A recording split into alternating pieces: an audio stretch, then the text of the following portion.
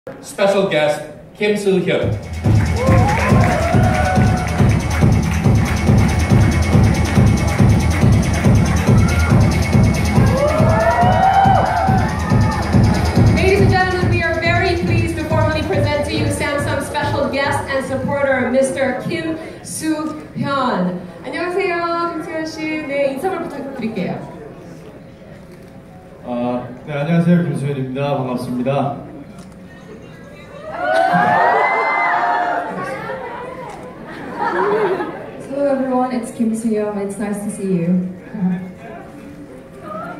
yes, let's take, let's take a breath, all of us, right? All of us, just collectively. Okay. Um, first of all, um, you know, welcome to the Philippines. What are you doing here, and how are you finding the country so far? The food, the sights, you know, all of those things. What are the impressions of the Philippines right now?